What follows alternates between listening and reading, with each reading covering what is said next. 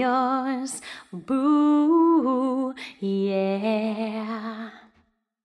One happy birthday dot com.